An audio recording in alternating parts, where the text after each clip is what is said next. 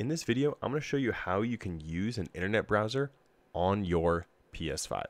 Now, there are many methods that PlayStation has patched, that Sony has patched, that won't be able to work. So this is the most up-to-date method that I've seen, uh, and it works because I've done it. So first is you're going to want to go to your settings, and then go down to your system settings, go down to your web browser, and just make sure that enable JavaScript is is turned on. Just this just makes it easier navigating through the site, making sure everything is popping up, and that you're able to see all options. And so this will help us get to our location, which is essentially trying to get to Google's search engine. So next, go up to the guide and tips, click on that, go to the user guide, and then here we're going to want to just get to the support website for PlayStation. So click on this URL. And then once this loads, we're going to want to go into our account and security. And then in here, we can just go ahead and click on account management. And then here, you're going to want to click on how do I change your sign in ID? And then click on this account management link and then we're brought to this page to sign in. Now we're not going to want to sign into PlayStation.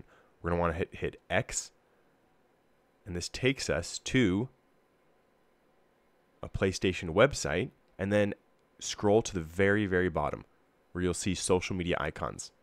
Now we're going to wait until the YouTube icon loads. Good heavens, we'll get there. All right, now click on the YouTube icon. All right, and then once YouTube loads, we're going to want to go ahead and click sign in.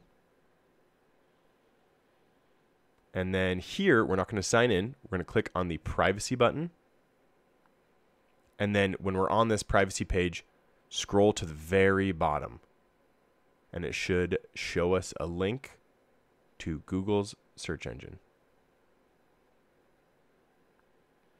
All right, right here at the very bottom left you see the word Google. So go ahead and click on Google.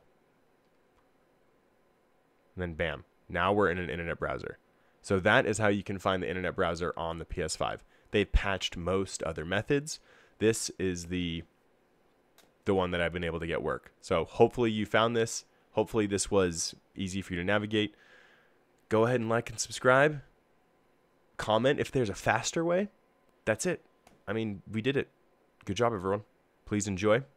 That's how you find a internet browser on the PS5. It's a secret method.